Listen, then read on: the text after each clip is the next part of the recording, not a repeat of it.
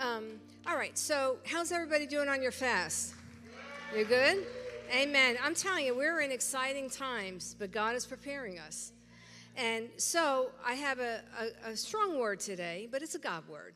But before I do that, I, I, did y'all get a handout when you came in?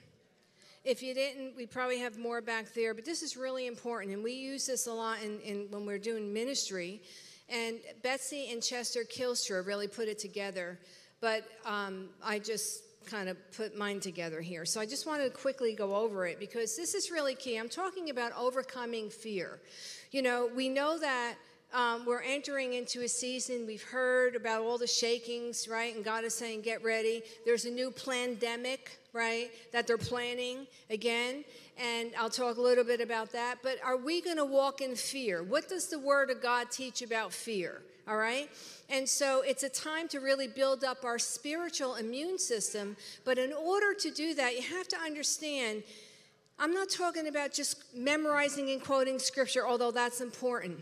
But if you have some ungodly beliefs that will hinder you from really allowing the word to metastasize within you, you're going to have a problem. And so, in this here on the handout, I have here, and this is important for our fast, okay? Because we want to shift. We don't want to walk into this new season with the same mindsets that's going to limit us. Our belief systems include our beliefs, our decisions, our attitudes, judgments, expectations, vows, and oaths. All right? So here, any beliefs that agree with God, His word, His nature, His character, they're godly beliefs, okay? And we know we believe it's so easy for us to believe a lot of lies. But any beliefs that don't agree with God, His word, His nature, His character, they contribute to our ungodly beliefs. For example, I'm stupid. I'll always battle with this. I'll always battle with confusion. I'm always going to struggle with addiction. I'm always going to struggle with, you know, come on. These are ungodly beliefs because God came to set us free. Our beliefs affect who we are and how we perceive ourselves and how we relate to others. They determine how Christ like we become. And I'm kind of skimming through this. The perfect ungodly belief is one that appears to be absolutely true based on the facts of our experience, and yet it's absolutely false based on God's word. How many of you realize when you're struggling with a belief system, it seems so real to you? The lie is, you know, these people are too fanatic. I can never be like them. I can never grow in Jesus like these people. I can never uh, not walk in fear. I can never attain that. I can't be successful. I can't understand that word. I can't do well in school. You see, those are all lies. That's because according to the word, Jesus came to set us free, and the word is supernatural and it's powerful, okay? So, what are some of the lies? No one loves me. I'm all alone. I'm defective you know, I'll always be a failure. See, these are lies that we have to shift, and it's progressive, and it takes time for us to to uh, walk out of this. But I'm telling you, when you're desperate and you want change, you're going to do what it takes. Because that's what I did. I couldn't stand the way I was. And so it says, although these statements are completely false, most people who think this way do not even realize it until ungodly belief is pointed out to us. We continue day after day living our life based on a lie. We were singing songs about the cross. Why did Jesus die for us? To live in bondage? When we finally recognize an ungodly belief, we realize how completely at odds it is with God's word. So in John 8:44 clearly warns us that Satan's a liar. That's his character, and he hates truth. Exposing ungodly beliefs exposes Satan's continuous attempts to drive us away from truth, which states that we are his beloved children. All right, so, all right, quickly. How do we form these? Well, we inherit wrong beliefs from our family or friends. There are lies that have been formed in us since childhood about ourselves and others and God. They're formed out of experiences. Beliefs are formed from hurts, traumas, negative experiences, and words people say to us. But Jesus came to set us free. Amen? Beliefs are formed from the facts of our experience. An ungodly belief is a belief or an attitude that doesn't agree with the word. End of conversation. The most tragic, ungodly belief Satan has introduced to this generation is you came from nothing uh, if you are if you think you want to be a boy and you're a girl, you can shift genders. That's a lie. All right? You have no reason to live. Commit suicide, die. okay? You're this, you're that. You'll never acquire uh, anything that God has for you. You're never going to exceed. You know what the what the world is trying to um, you know encourage our young people and what the world is teaching is a lie. And that's why you have to know what the Word of God teaches. And so we can't just cower and just say, oh, well, here's what they're teaching. Look at what they're trying to teach in the school system. It's a lie. They're trying to teach perversion in the school system. It's a lie. Trying to why? Because they want to start very young and twist the minds of these kids. Okay. So some some results of ungodly beliefs sets us up for unhappy relationships, causes distortion so that we make mountain out of molehills, causes us to take everything personal. You're ultra sensitive. Listen, if you're a, you have a problem that you're always so sensitive and getting offended by someone, that shows you there's a root issue there that you need healing. All right, it causes us to be prisoner, to put down our sarcasm, anger, or any other unhealthy patterns of relating. Causes us to hurt and defile those we love. Causes us to our faith to be eroded. It undermines our relationship with God. And you can read on. So, the belief expectation cycle. To better understand the belief expectation cycle, consider this experience. This happened to me. Your teacher embarrasses you in school in front of others, right? They, they shame you, not intentionally. I mean, it was just, you know, how it was then, right? They shame you. You're, so then what your belief starts happening I'm not smart. I'm never going to speak in front of people again. I'm never going to share my heart, right? Teachers are mean, or parental or, or, or uh, authority figures are mean. Not, I'm not messing with them right? The expectation now is I'm stupid and I will always be treated that way and people will see me as stupid. Or your behavior then becomes I'm refusal to study. What's the point of studying? Because I'm stupid. Anybody relate? Not, not necessarily to that, but I'm just saying the cycle. All right? So, anyway, how do we stop beliefs, that belief system? All right, expectation cycle is to intervene between the experience and belief stages of the cycle. And we have to choose God's word as truth. We replace the old lie with God's truth. And I tell you, a lot of times as you're doing it, it doesn't make sense. It's like, okay, this feels so real. This feels so real. I have experiences. Well, your, your expectations shall not be cut off. You're constantly expecting to be put down. There's like what we call expected rejection, perceived rejection, and it's like this dynamic in the spirit realm where you would track that, okay? And so, um, Anyway, so we have to establish a belief cycle. So I want you to be thinking about what are some cycles, belief cycles that you're believing that's contrary to the Word of God. All right? So breaking free of ungodly beliefs. How do we stop thinking this way? Well, you hear us saying that all the time. Romans 12, 1 and 2 says, Don't be the way the world is, and don't think the way the world thinks but be transformed into the image of Christ. How? By the renewing of your mind. And how do you do that? When you, now this is what they had written. When you think your brain generates electrical energy that travels from neuron to neuron. As these electrical pulses travel across your brain, the neurons involved develop more and creating a pathway that's ever uh, more easier for the electric pulses to follow. Thus, your brain develops a system of trails or highways, or you think a thought over and over again until it becomes a deep rut. So, let me put it to you this way you know, when you have a carpet and you have furniture on the carpet, you move the carpet and you have that indentation in the carpet. Well, one of the ways to get that indentation out is pour water on it, keep water on it, Put, keep pouring water on it, and water it represents the Word of God and so there's a there's a an indentation there's a there's a, tr- a, pathway in our brain that we have to shift. And god gives us that ability through supernatural power through the word of god which is supernatural. It's not in any regular book. It's the word that jesus came to set us free. And he's saying listen we're living beneath our means. What does the word say about your situation that has final say. Not depression, not fear, not anger, not addictions, not porn. The word has final say. And when you get that, when you when you get that and that root system becomes so so so rich in you, you become so one with it. Man, that's how you overthrow the works of the enemy. And we don't have to wait 42 years for it. He, he meets us little at a time, step by step, but do it. Listen, I'm telling you, we're coming into a season that there is a lot of shaking that's going to be happening. However, God called us to be here for such a time as this because He knows we can endure. He knows we have that ability. We have the Spirit of the living God, and we are that remnant and we are that army. So anyway, then it goes on to say here, take you can take time to read it. It says uh, 2 Corinthians 10, 3 and 5 instructs us to pull down, tear down every thought that's against God. Ungodly beliefs are not God's thoughts. And the battleground is in the mind. We all know that, right? So ungodly beliefs are open doors inviting Satan to come in and kick our behinds. That's bottom line. If we don't reject Satan's lies, then we then uh, we have to accept them as truth. And like I always say, whose voice is louder? What is Satan saying about you? He's not going to he's not going to dictate my destiny. That's what he's been doing.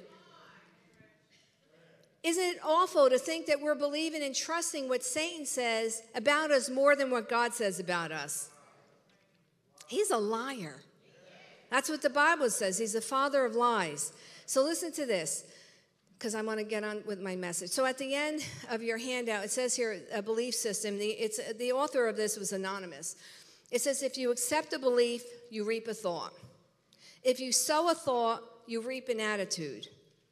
You have to meditate on some of this stuff. If you sow an attitude, you reap an action. If you sow an action, you reap a habit. If you sow a habit, you reap a character. And if you sow a character, you reap a destiny. Wow. So take your time with this because, again, we're fasting. We're fasting for freedom. We're fasting to build up our spiritual immune system. We're fasting so that we are prepared for what's ahead because Jesus wants us to walk as, you know, and be that army that He's called us to, to fight and to take a stand. So, we are in the, we're entering into in i think it's uh, september 14th or 15th 5784 which you heard christine it's the year of the door. But we're still in the era of Pey. So it's Pey p-e-y which represents the mouth Pey dalit all right? Open door all right, it's a decade of Pey. And we're to call those things which be not as though they are. We're to prophesy. We're to speak the word. We're to decree the word. And when you walk in faith, I'm telling you, there's spiritual dynamics that take place in the realm of the spirit. But see, when we have an ungodly belief that's countering, saying, that's ridiculous. Like, like that might work for you, but it won't work for me. That's a lie. God is saying that He's there for you and that he, we have His DNA and we have the Spirit of God within us. Amen? So we see that. Oh, um, all right. Well, I wasn't going to go there, but I'll go there now in a minute. So we, you know, and I've been encouraging, we've been encouraging everybody to pray in the Spirit because you get revelation. It just, it just does something for you, right? So anyway, um, uh, let's see. So we want to call those things in Romans, it says, we pray and we decree, we call those things which be as though they are. You know, the vision that God has given me, He said, Your mandate, Trisha and Peter, is to raise up a militant army. And that's the remnant. That's the Gideon 300 army. That's the army that knows how to stand. And when you've done all to stand, you stand. And when you've done all to stand, to stand, to stand, you stand and you stand, and you don't back down. That's the army. We're not cowering. It's not like, you know, we're this radical group that we're going to, like, you know, be a terrorist, even though they call us domestic terrorists. We're terrorists against the enemy in the realm of the spirit.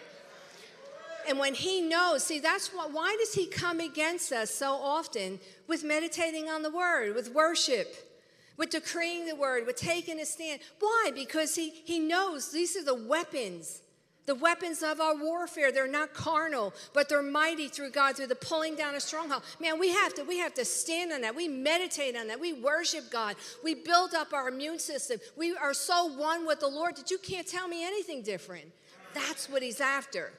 But if we, we are listening to the lies that said, I don't know, she's a little too radical, a little too radical you know, she's full of baloney. Don't listen to her. I mean, my God, these Christians that are so fanatical. Well, honey, either you're hot or you're cold. That's what the Bible says. If you're lukewarm, what does he say? I'll spit you out of my mouth. So God wants us to be that ferocious, warring, you know, lion like, you know, group of people with the force of God Don't listen to the lie that you're defeated. Don't listen to the lie that you'll never get ahead or you're always struggling with porn or you're always going to be depressed. That's baloney. Now, I'm not saying there's not an issue. And God allows us to address the issues of our belief system. But God says, I, Jesus, died on the cross brutally so that we can walk in freedom. So, this is a year, you know, it's always been a year, but we decree and we, we, we release the declarations. We prophesy. We speak those things daily out loud. It's the fruit of our mouth needs to manifest. We will see the evidence of faith. All right? So the number four is door, but it's also a new season or a time period where God changes the times and seasons right? And that's what's happening now. So Dali, it's the Hebraic uh, uh, alphabet. It's the picture of the door, but also it's like what I was looking up. It's really at the time they didn't have doors so much like in the desert. There was tent. In order to get into the tent, they had to humble them. They had to bow. And so it's really important that we all walk in humility. It's always been, but we really need to humble ourselves. Give up our right to be right humble ourselves in the sight of the Lord, okay? And it also means um, it's a dwelling place, right? So, God, to me, God is talking about that intimate place. We hear us saying all the time, but during this fast, are we spending that intimate time with the Lord? Are we dialoguing? Are we just, we were praying this morning about distractions. Are, are, you like in a place where you're just sitting there and waiting upon the Lord? We can't afford not to do this, all right?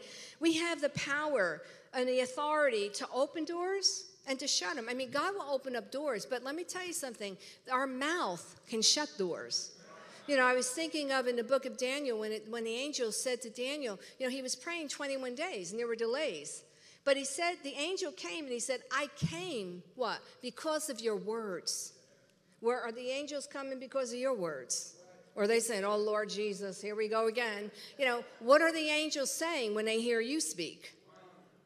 Because they're ministering servants. We don't pray to angels, but they respond. Psalm 103:20 says that the angels hearken to the voice of the word of God. When we are releasing the word of God in faith, they're sent out to, as ministers on our behalf to war on our behalf. I don't know about you, but I want my angels on my side. So doors that uh, you know we have to activate them with our mouth.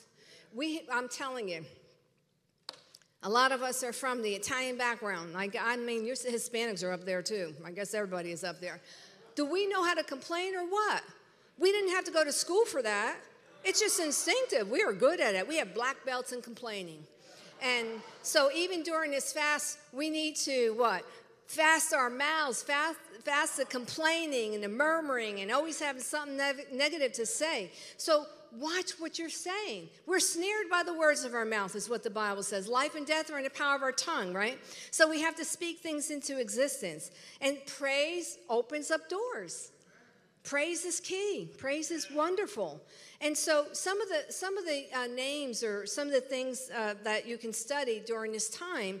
Um, it, from from uh, 5784, the Dalet word, what would be a Dalet word would be Daniel. Daniel is one of the Dalit words that, that is really key figures during this 5784 season. All right, so I love the book, I love to study the book of Daniel, and it, to me it represents prayer. But also, here's the thing in the season that we're in, Daniel prayed. He's like, I am bound to what you're saying. They told him he couldn't pray, sort of like when we had the you know, every now and then. We could. He prayed, and not only did he pray, he opened up the windows I'm going to pray, and you're not telling me what to do. The devil in the world is not telling me what to do when it comes to my God. And so now, was there a little shaking that took place? Yeah, because they threw him into the lion's den. But the Lord shut the mouth of the enemy. He shut the lion's mouth. See, if God be for us, who can be against us? Amen. See, God is raising up this firebrand. He's raising up this tongue talking, fire breathing Christian that's not backing down, that loves, that's walking in love. Now, I'm not talking about being self righteous and pointing your finger and being mean spirited to people. I'm talking about who know their God and will do great exploits. We're all called to do that. That's not just for a group of people. We're all called to lay hands on the sick. We're all called to cast out devils, raise the dead, and heal and cleanse the leopard. That's our mandate. So the other one that, uh, the other name, so it's, it's Daniel, Deborah, Dagon. We're in the season, we're going to deal with the Philistine gods. We're going to deal with the, uh, uh, the gods of this age. You know, um, oh, I forget his name. Uh, that rabbi, Jonathan Cahn, wrote a book about, um, I think it was called The Gods of This Age, something like that. So we're dealing with, this is legitimate stuff.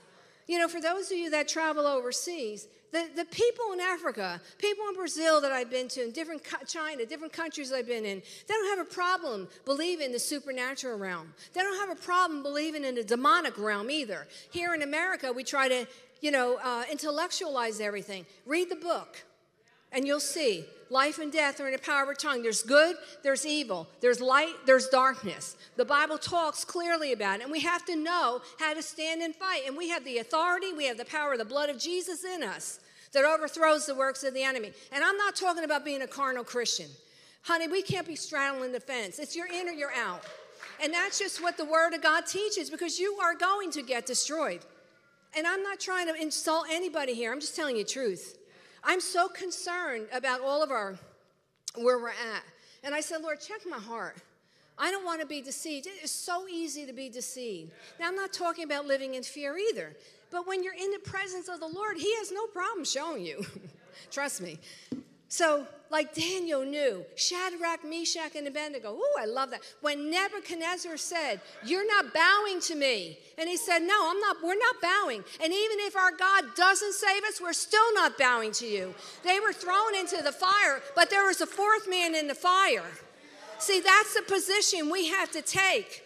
I am not bowing to the world system and the, the, the corruption that's out there and what the enemy's trying to implement, and we're going to cower the church, the ecclesia, the one who is to legislate. We are not supposed to bow to that. We're the light. They are really looking for us to take a stand and say, Do you have hope? Do you have the truth that I need? Do you have the wisdom that I need? That's what they're looking for. Not for us to say, yeah, well, what are we going to do? Oh, well, I don't want to get them upset. I'm sick and tired of hearing about us offending them.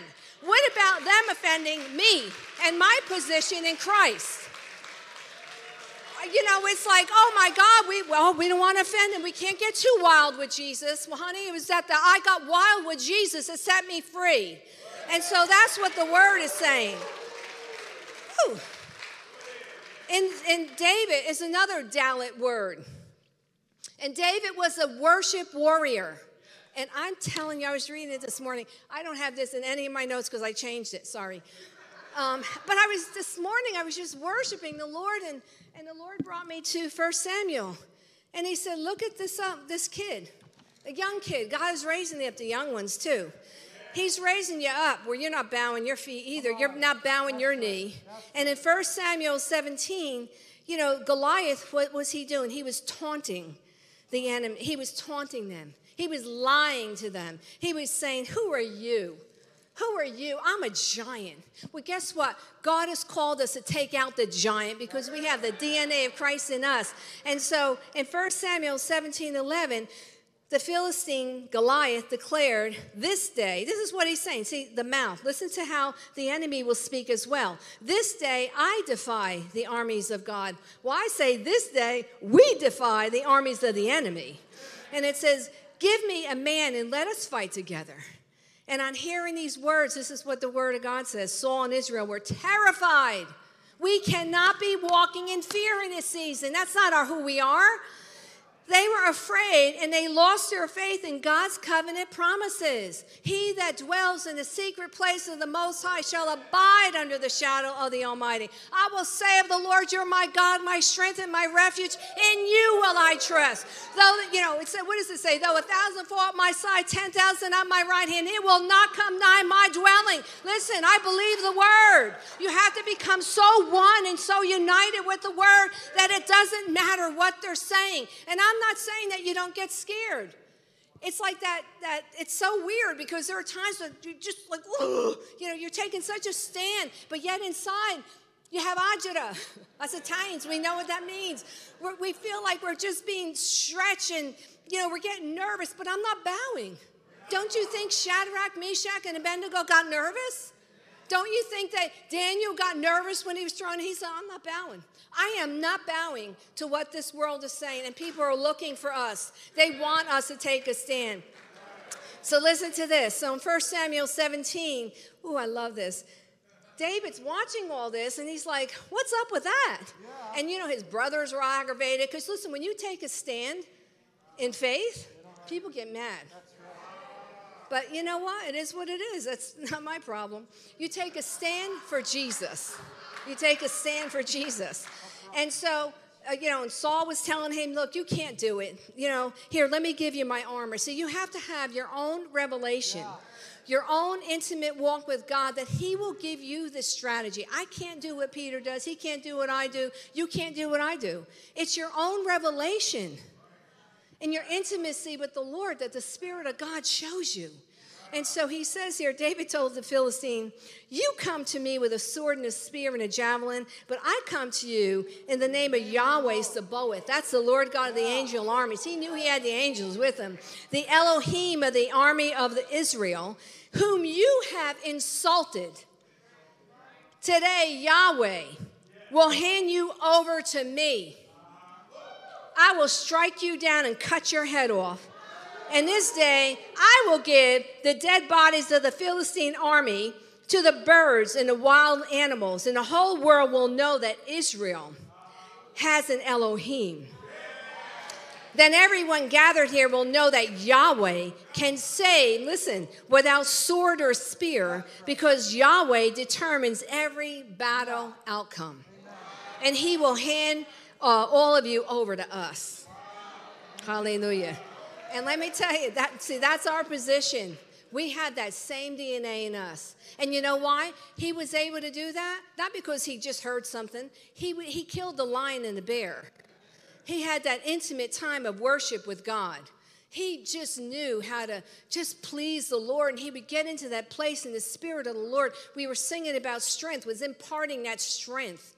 See, that's what God is saying is, I am imparting. You're not doing this in your strength. You and God are a majority. He's imparting His strength into us. And that we can't cower, we can't back down. And, you know, or, or, or, or feel so indifferent. Oh, this is like, you know, like, oh, brother. I'm telling you, I'm going to slap you if you do that. Because we, I'm te- we can't do this any longer. I'm, I, i am so concerned about us.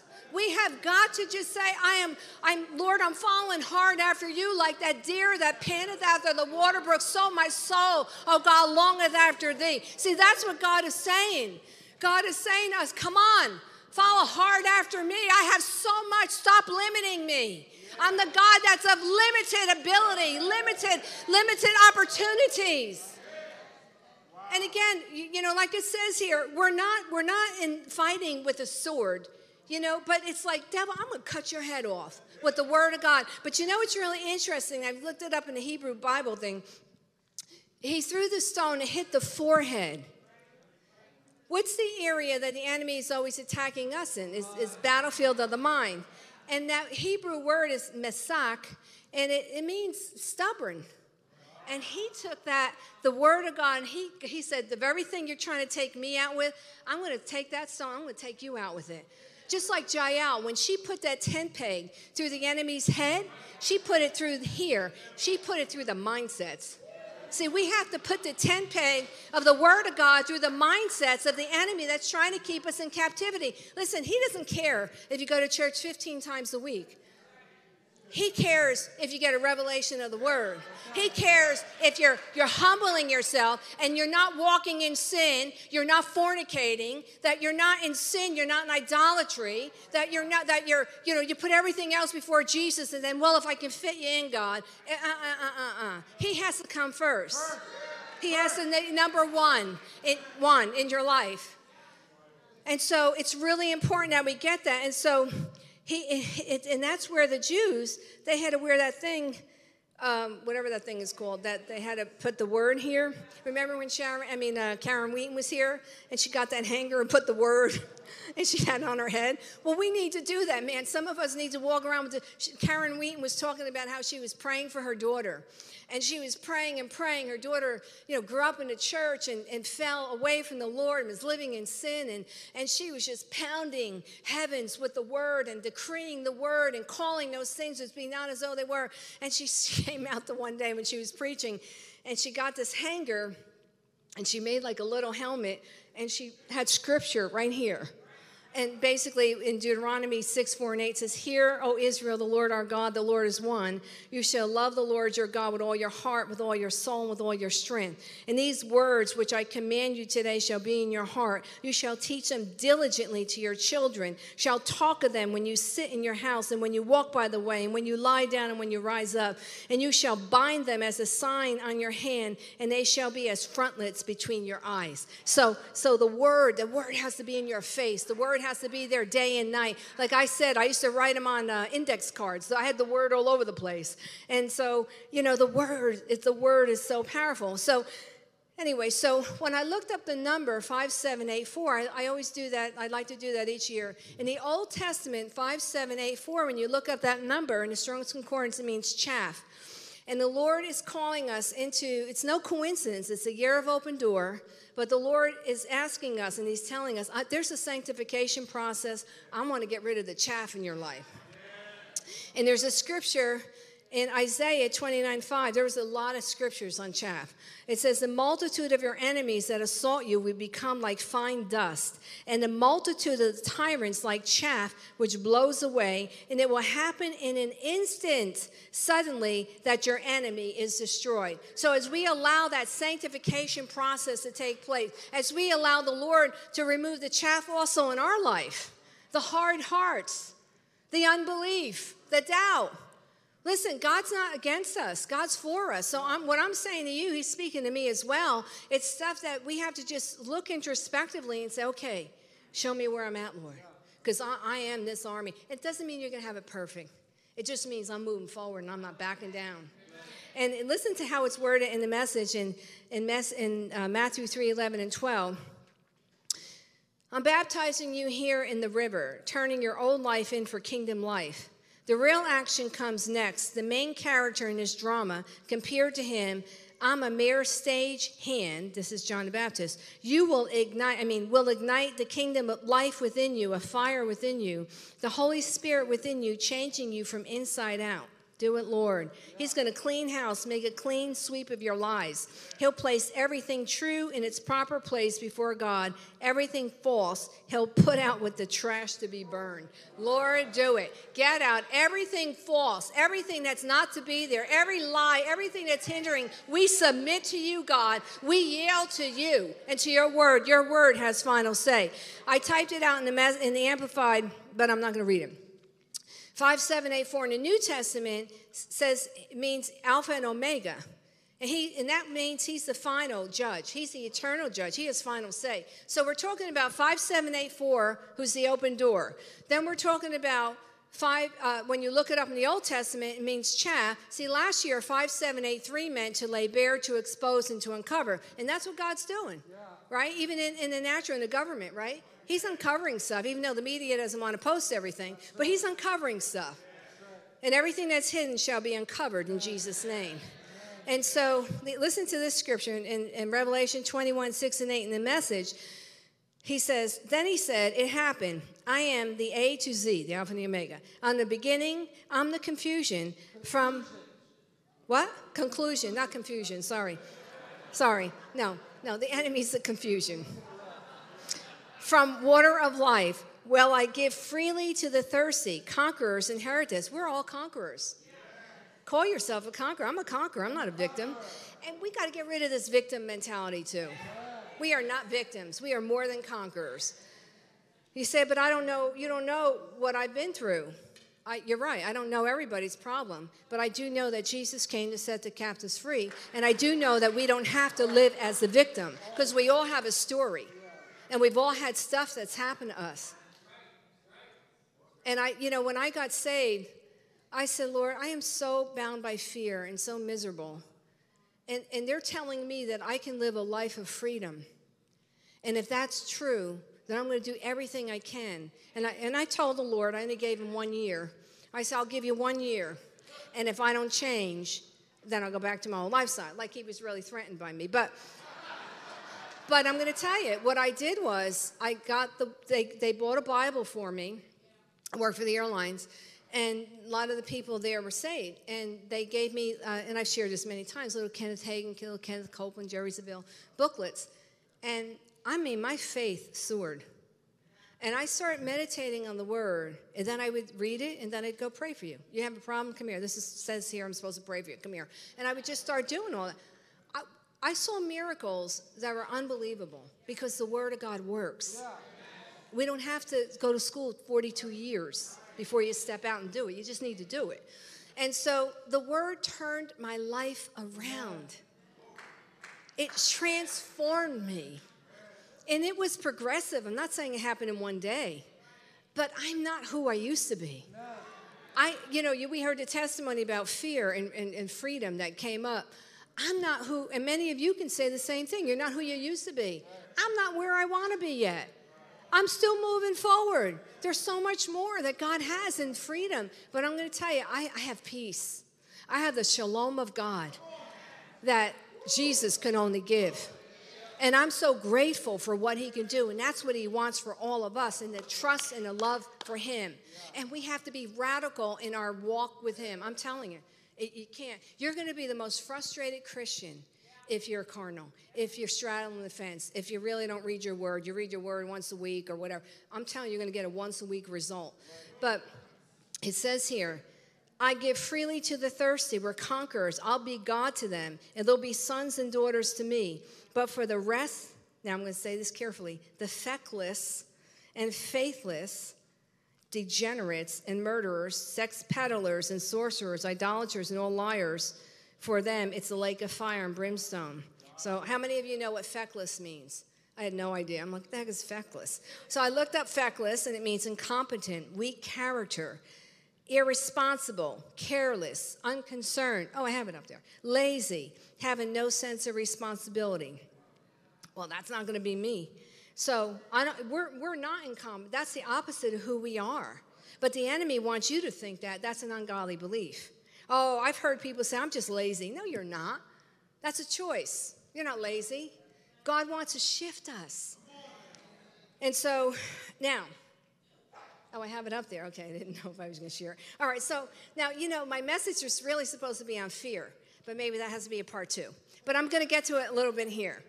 But, you know, they're, the, it, I mean, you don't have to be a prophet to know about the shaking, right? And they are planning for another outbreak, and they're calling it ERIS, E R I S.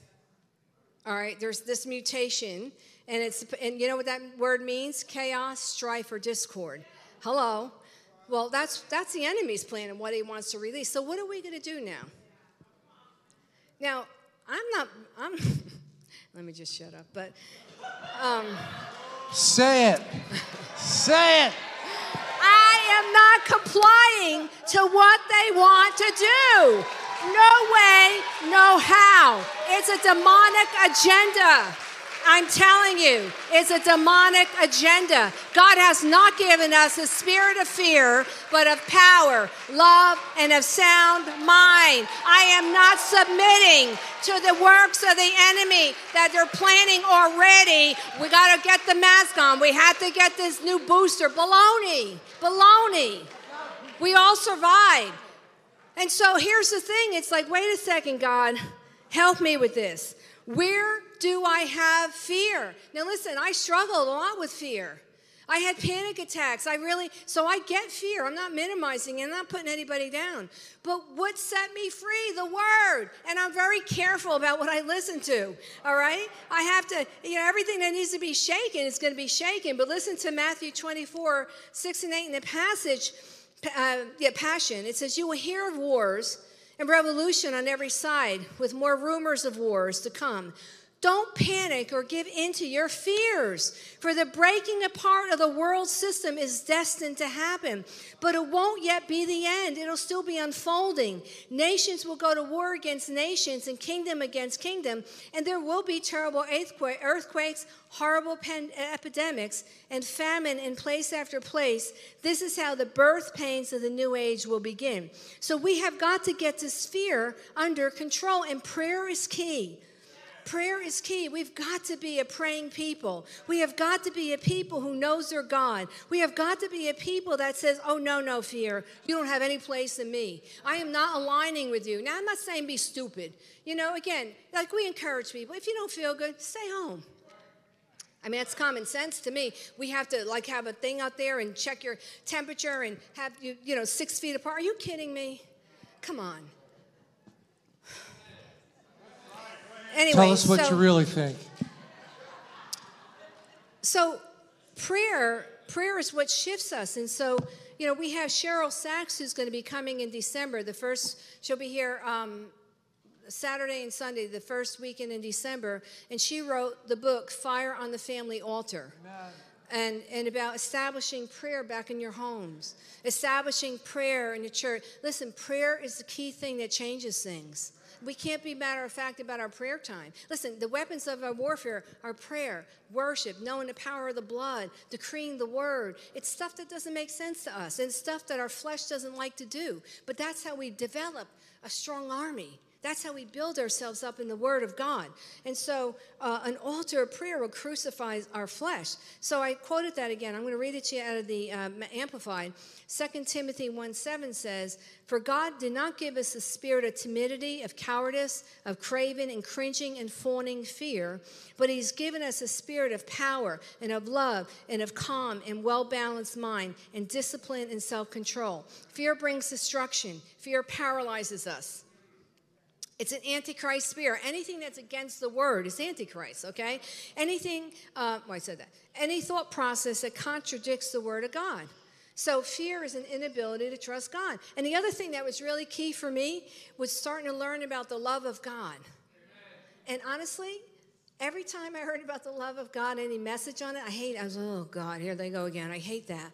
And so, but that was what I needed for freedom because I didn't understand the love of the Father. Like I just you know? And i you know i tell you all the time when people say oh papa or uh, you know my daddy you know, you know just i'm still i'm still getting better with that one but you know father god works for me. But i had a hard time with it you know? And, but that was the thing that i needed. It's the love of god. Perfect love casts out all fear. It's the love of god his love, knowing that He's got my back, knowing that I can trust Him. He's the beginning and the end. He's there for me. If God be for me, who can be against me? He'll never leave me nor forsake me. We have access. We can come boldly before the throne room of God. See, that's the love of God, Him being there for us. All right? So, so what are you meditating on? Don't meditate on, oh, I'm afraid of this. I'm afraid that I'm going to get sick. I'm afraid I'm going to. Come on build your, you know, we, listen, we're spirit, soul, and body, and we also have to build ourselves up spirit uh, physically. Right. We have some nutritionists here, right? We have to build up our natural immune system. That's really important. So, like, let's be practical too. Don't be eating all that sugar. Certain people I want to look over there. And so, fear doesn't trust God, right? Because what happens is the lie becomes more real. And, and, in essence, by our actions, we think Satan's more powerful than God when he's not. He's under our feet. Read Colossians. You know, the handwriting that was written against us was taken away. You know, and so when um, when you've been around fear so long, it becomes one with you. Like for example, our, our my mom really flowed. She battled with fear. So we had a fear issue all the time, you know? And so, yes, fear is a spirit, but it's also a mindset, but it's also what you're used to. Right? So you become so used to it, you don't even realize how much you're operating in fear, you see? So that's why, again, yeah, I, we can take authority over. Demons are easy. It's the mindsets that have to shift. So I had to work on this and, like, okay, Lord, what's you? What's like common logical sense? I mean i don't want to be stupid here but but you know what is it that i need to do to not walk in this fear? I mean because i had to work at it. So if that has been a stronghold in your life we're going to pray about that. But listen you're going to have to apply yourself. I, I mean listen i love it that i just come and boom you know you're free. We have to do our due diligence as well I mean, I believe in the supernatural, but I also know that what we have to do in order to build up our spiritual immune system. Amen. All right? All right. So, any thought, thought process that contradicts the Word of God. And I said it earlier. I mean, I was really desperate to change, and I was going to do everything that I could. And this scripture really got to me. And I would meditate on this all the time. It's in Joshua 1 7 and 9. It says, Only be strong and very courageous that you may do according to all the law which Moses my servant commanded you. Turn not from it to the right hand or to the left, that you may prosper wherever you go. The book of the law shall not depart out of your mouth, but you shall meditate on it day and night, that you may observe and do according to all that's written in it. For then you shall make your way prosperous, and then you shall deal wisely and have good success. Have I not commanded you? Be strong vigorous, courageous. Be not afraid nor dismayed, for the Lord your God is with you wherever you go. You have to believe that, that He's with me no matter what. So again, I'm checking my heart. Lord, where am I at here? Am I trusting you 100%?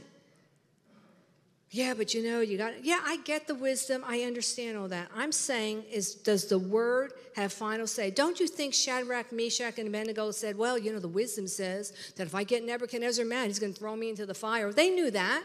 I'm not bowing. I'm not bowing to fear. And that's that's my position. Amen. I'm not bad. That's why I was getting so angry, not at people. Listen, I, I, listen, we're all at different places. So no, I'm not this isn't to put anybody down, but it's for us to check where we're at so that we know how to develop and build ourselves up. And, and, and there's a fear of death. I, I mean, I get that. And so, you know, surround yourself with, with people, faith filled people. Surround yourself. Put your armor. Just remember faith leads, fear drives. Always remember that. Ephesians 6:13 says, "Put on the complete armor of God, so that you will be able to stand or successfully resist and stand your ground in the evil day, and having done everything that crisis that the crisis demands, to stand firm in your place, fully prepared, immovable, and victorious." See, we have to be prepared.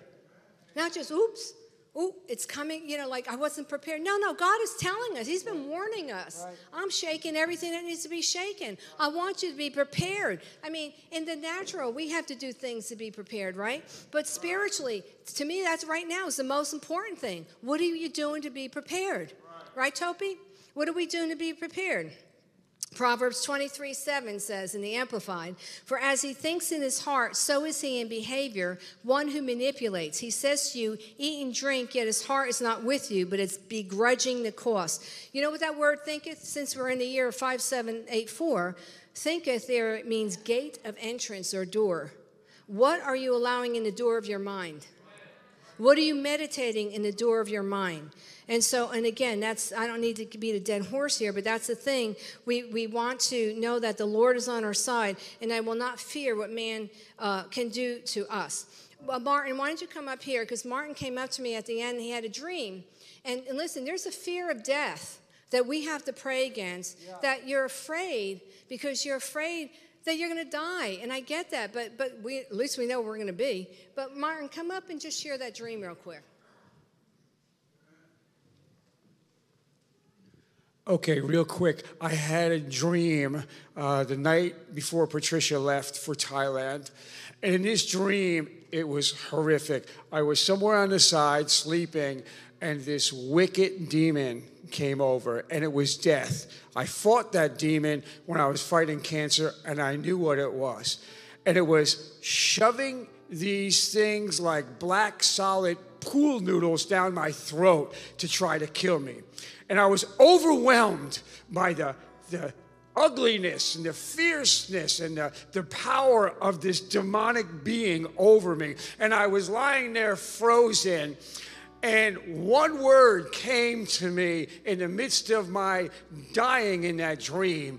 And here's the word of the Lord fight. And I literally, uh, when I swung in my dream, I felt so weak. And it represented what we do in the natural. I actually hit my wife. She woke up at that point. She said, What are you doing? Stop! I hit her twice in the arm. I'm like, Oh my God, I'm so sorry. Now I'm dealing with this terror fear of this dream. And my wife mad at me because I'm hitting her in my dream. But the word fight means what Pastor Trish is talking. It's fight with the word. And that's it. We have to fight with the word. So I'm going to ask you to stand. I have a lot more here, but I don't want to. Let me just close with this. Um, well, I'll quote two scriptures. Proverbs 3 25 and 26 in the New Living, it says, You need not be afraid of sudden disaster, disaster, or the destruction that comes upon the wicked, for the Lord is your security. He will keep your foot from being caught in a trap. Amen. Psalm 27, this, I mean, I, and, and the other thing, when I was really, really, really struggling with the fear, I memorized, I, I mean, I just would meditate and memorize scriptures that had to do with fear because I needed freedom. And, and the, it's the revelation of the truth of the word that sets us free. And it says here, The Lord is my light. And we sing that song, and my salvation, whom shall I fear? The Lord is my refuge, or the refuge in the fortress of my life. Whom shall I dread? When the wicked came upon me to eat up my flesh, my adversaries, my enemies, they stumbled and fell. Though an army encamp against me, my heart will not fear. Though war rise against me, even in this I am confident. And, and you know, it's like the one thing. What's the one thing, oh God, that I will worship you? You know, the Lord is my light and my salvation. Whom shall I fear? He's the strength of my life. You need to meditate on it. You need to picture it. You need to just see yourself when, he, when the enemy's trying to come and, and, and put sickness or put uh, destruction or fear. Oh, he's the Lord of my light, my, of my life, my salvation. Light dispels darkness. And when you meditate on that and you sing that, and it's like, wait, when he's trying to put sickness, COVID, Eris on you. Where, though the enemy, when he came upon me to eat my flesh, the Bible says they stumbled and fell. Whew, Jesus. So, Lord, we are so grateful that we are people of strength. Even like he said in his dream, Martin said, he felt so weak. But in our weakness, the Bible says we're made strong. Yeah. That's when we yield and we surrender. And we allow the Spirit of God Say, God, I can't do it in my strength, but I trust you. Yeah. I choose to trust you with all my heart. Lean not on my understanding. In all my ways, acknowledge you, and you shall direct my path. Listen, there's some in here that you believe you're always going to be in poverty. The Lord, I just heard the Lord say this. There's some that you feel like you're always going to be in debt and never get out of it. God is saying to you, that's a lie. That's a lie. So, Lord, we just pray that you break that stronghold right now. I'm to, we're going to sing this song that I love, and, and we're going to just come up to the altar. And, you know, we're not going to lay hands on you. You know what? Because only God can do this stuff for Amen. us. Just get before the Lord and say, Lord, I'm, I'm putting it, I'm putting the fear. I'm afraid of COVID. Just say it. Just be honest. I'm afraid of Eris or whatever heck it's called. I'm afraid of, you know, not not, you know, succeeding, whatever it is. We all have had fears, and I'm not saying I don't walk in, I have a fear, but I'm not going to let fear control me. That's, That's all. Right. So, Holy Spirit, we thank you for your amazing love that you have for each and every one of us. God, we just thank you that your desire for us to be that army where the enemy has nothing in us. Lord, we choose to believe the power of your word. You are the Alpha and the Omega. You are the beginning and the end. You are Elohim. You are Adonai. You are the Lord God, Jehovah Sabaoth. You are the Lord God of our angel armies. You are our righteousness. You are Jehovah Tsidkenu, O God. You are Jehovah Rapha. You are our healer.